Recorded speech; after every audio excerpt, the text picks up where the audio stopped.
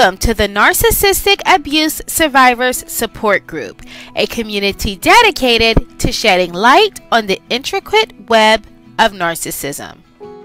Welcome back to our YouTube channel, your compass in navigating the myriad issues related to narcissistic relationships.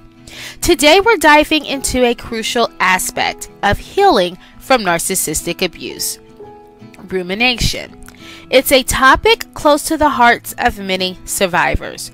We're going to explore what rumination is, why it's detrimental, and most importantly, how to deal with it. But before we begin, I'd like to extend a heartfelt invitation to join our vibrant YouTube community.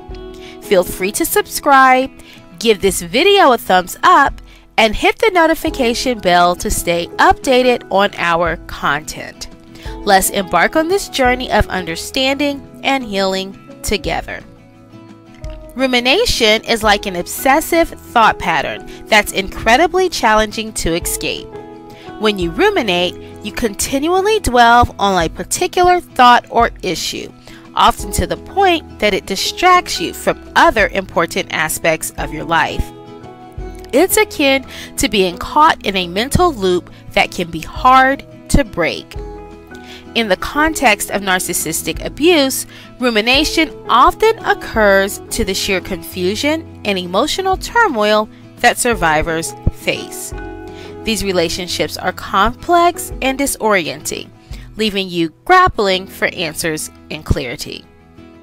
Some common ruminative thoughts include self blame, such as, What could I have done differently? Maybe it's my fault. Or hope for change. What if they change for someone else? Or replaying arguments. I wish I had said this during our last argument. Or idealizing the past. Why can't our relationship be like it was in the beginning? Or comparing to others.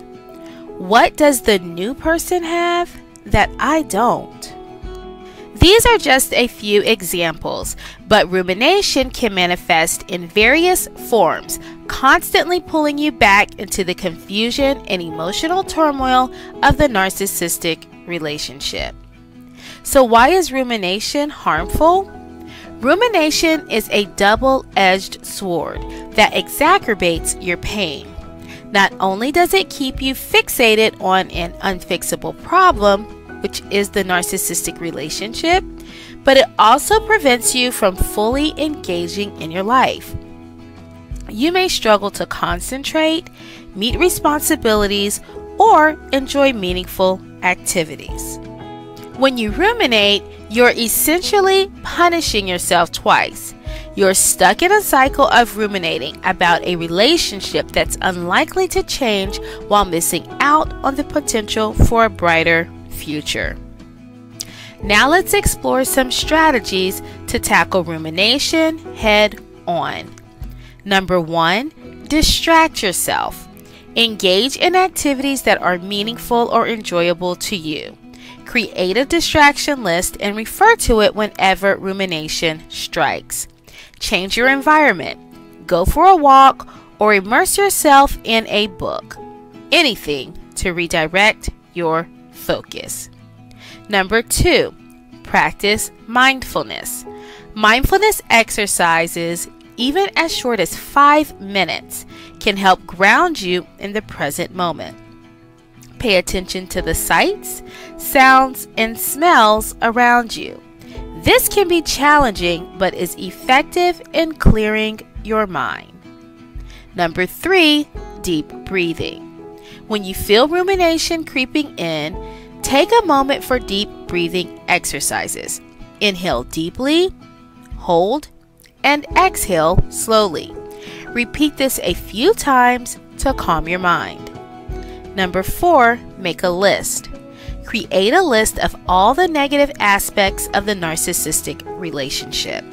Refer to this list when you find yourself romanticizing the past or hoping for change. Realistically assess the relationship based on these insights.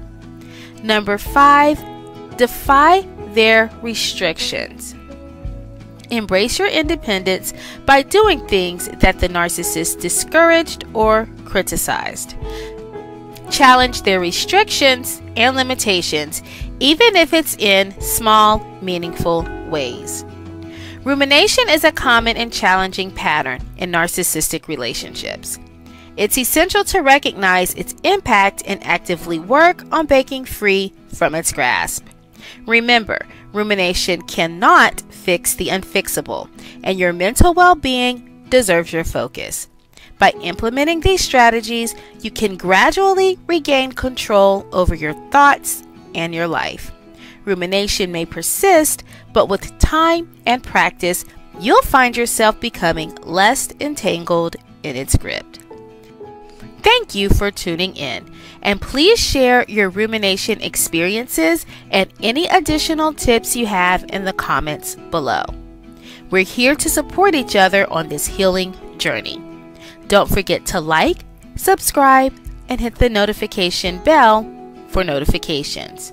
There's more valuable content coming your way. Bye for now.